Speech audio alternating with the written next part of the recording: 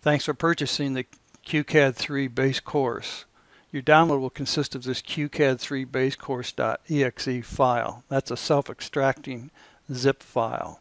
It's going to extract in whatever folder you place this file into.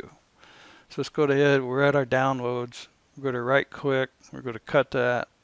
We're going to move it down here to C drive.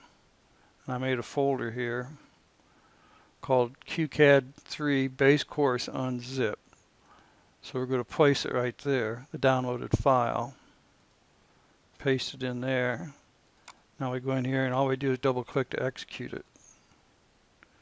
And just go ahead and say extract. And what it's going to do is put it in a, it'll put it in a subfolder. QCAD 3 temp subfolder, which is shown right up here. That's just in case you screw up and put it in the wrong folder, when you unzip it, it won't write over some things you already have in case there's a similar file name. So now we're in our QCAD 3 base course unzipped. There's the downloaded file. We executed it, created this folder. So right here is the course contents. For example, in lesson one, if you just want to play the MP4 file, then you click on this.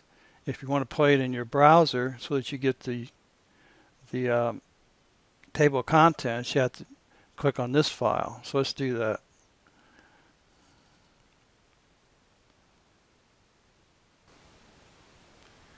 Hi there and welcome to the QCAD training video. This, so I just wanted you to know exactly how to how to unzip this package once you get it.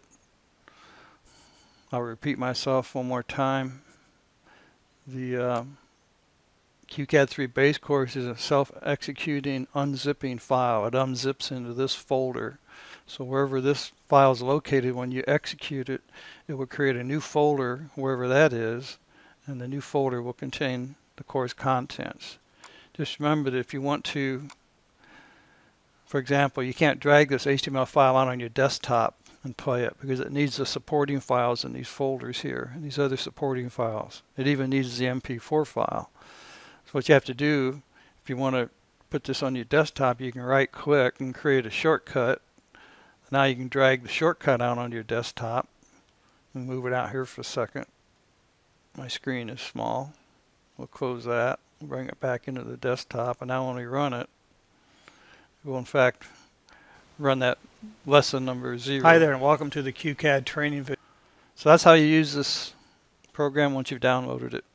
If you purchase the DVD, it's the same thing. You simply copy the DVD files wherever you need them. But remember, you have to have all the files in each lesson folder for the HTML to work.